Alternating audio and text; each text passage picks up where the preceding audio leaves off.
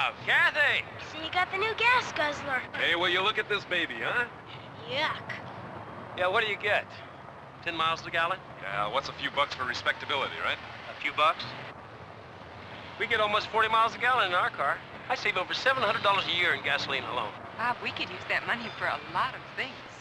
The 1978 gas guzzlers. Don't be seen driving one.